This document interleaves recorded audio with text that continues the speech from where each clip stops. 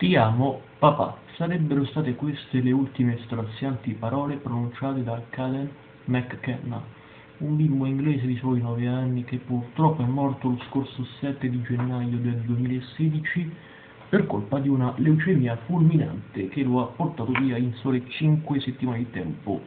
Ci troviamo a Cambridge, nel Regno Unito, e come riporta un quotidiano inglese, i genitori di nome Damian e Janine avrebbero raccontato che nonostante il terribile, per così dire, fatto di malattia e della terribile morte, il piccolo ha mantenuto per tutto il tempo un atteggiamento di tipo positivo, un atteggiamento, chiamiamolo, stoico, valoroso.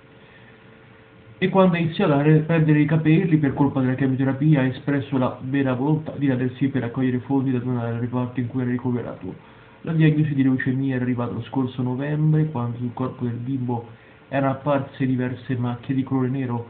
È l'inizio del calvario per Caden che fronteggia la malattia e le terapie con il sorriso, salutando ogni giorno le infermiere che lo accudiscono, ma per il piccolo non c'è nulla da fare. Morte certa, io ottiene un permesso per trascorrere le feste di Natale a casa, ma poi il 7 gennaio il terribile epilogo. Ti amo tanto papà, le ultime parole.